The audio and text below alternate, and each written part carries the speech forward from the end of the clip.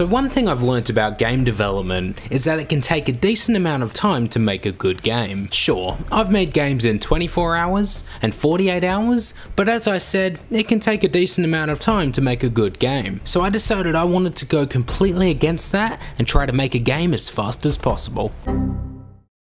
In this video, I'm going to be remaking a bunch of my games, but trying to make them in just 10 minutes. Obviously, game development can be a process, creating graphics, programming, fixing bugs, playtesting, but I wanted to try to forget all of that and just speedrun game development. I'm going to be making 5 different games and trying to complete them all in just 10 minutes. For my first game remake, I'm going to remake Combat.io. Combat.io is a fake multiplayer game I made, where you pretty much walk around and fight different bots, upgrading your weapons as you play through the game. The core concept of the game was the idea of walking around and fighting different enemies, and since we only have 10 minutes to try remake the game, that's all we're going to focus on. To get started, I opened GameMaker Studio 2 and created a new project. We needed to make some sprites, but once again, since we only had 10 minutes, minutes, let's just do this and call it a day. There we go, we have our player sprite. For our enemy sprite, we just duplicated the player sprite and colored it red. Now that our game had some sprites, I created an object for the player and programmed a simple movement system. The next thing to do was create an attack for the player. I made it so that if you click anywhere on screen, the player will simply spin. Whenever the player is spinning, they're in an attack state. I then created an enemy object and programmed the enemy to follow the player. If the enemy collides with the player while the player is in an attack state, the enemy will be destroyed. But if the enemy collides with the player while the player is not in an attack state, the game will restart. I created a spawning system which will randomly spawn enemies, added a scoring system, and there we go, our game was complete. Overall, even though the game didn't have a lot of variety, it was essentially a remake of our game's core concepts. You could walk around and fight enemies, trying to get a high score. Just as a quick side note, if you would like to play this game or any of the games I make in this video or download the game's source codes, they will all be available on my Patreon over at patreon.com slash badgamedev, link in the description.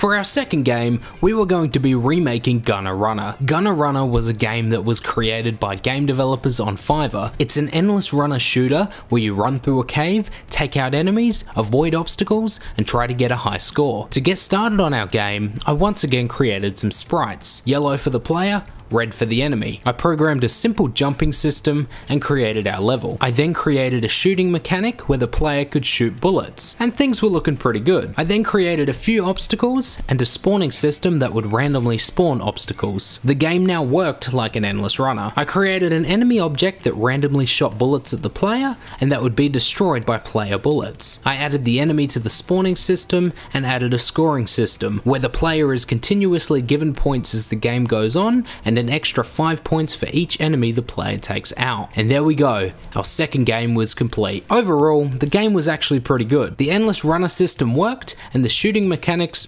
also worked. Before we make the next game, I wanted to take a second to tell you about the sponsor for this video, Skillshare. Skillshare is an online learning community with thousands of different online classes and members from all around the world. I think Skillshare is great for game developers as there are many different classes on game development and other skills related to game development. A class that I found really helpful was Unreal Engine 4 Create Your Own First Person Shooter by Tim Lash. This class shows you the fundamentals of how to make a first person shooter game using Unreal Engine 4, with topics including how to create different customizable weapons, how to animate a first person character, how to script complex reloading and shooting systems, how to create interactive ammo pickup objects, and much more. If you would like to join Skillshare for yourself and check out this class along with many others, the first 1000 people to use my link in the description or the code BADGAMEDEV will get a one month free trial of Skillshare.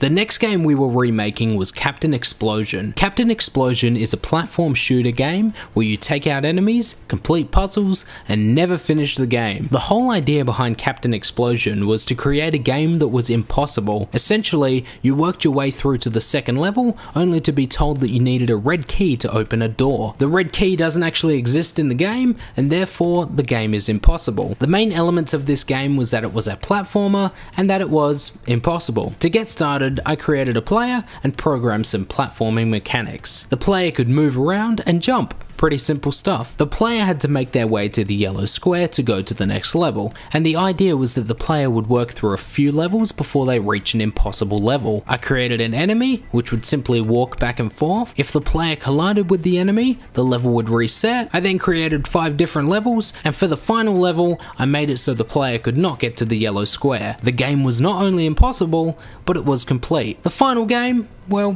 worked. It had some pretty basic mechanics, but it was pretty good for a remake of Captain Explosion.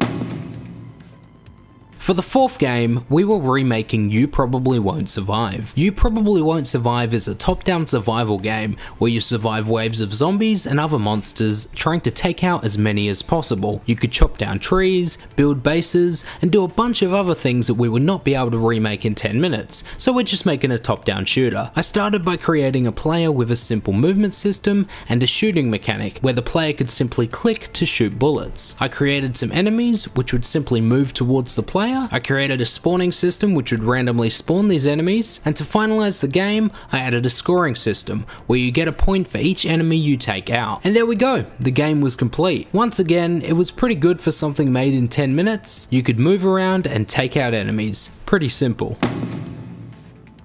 For the final game, I wanted to try something different. I wanted to make a 3D game. Here's the thing though, I don't really make 3D games, but I figured, why not? Let's try make a first person shooter in 10 minutes. To get started, I opened Unity and created a new project. I imported a first person shooter asset. Now, the reason I'm using an asset is because I only have 10 minutes to make this game, and because I don't know how to make an FPS. I created a cube and a grass material, which I applied to the cube. I also created some enemies which don't do anything, but there we go, an FPS game made in 10 minutes. And that completes our challenge of making a game in 10 minutes. We created a top-down fighting game, an endless runner shooter, a platform game, a top-down shooter, and a first-person shooter. And yeah, that's gonna do it for this video. I'd like to once again thank Skillshare for sponsoring this video. Remember, the first 1,000 people to use my link in the description or the code BADGAMEDEV will get a one month free trial of Skillshare. Also, if you'd like to play any of the games in this video or download the source code for these games, they're available on my Patreon over at patreon.com slash badgamedev, link in the description. If you enjoyed this video, please be sure to leave a like, leave a comment, and you can also subscribe if you're new to the channel. Peace.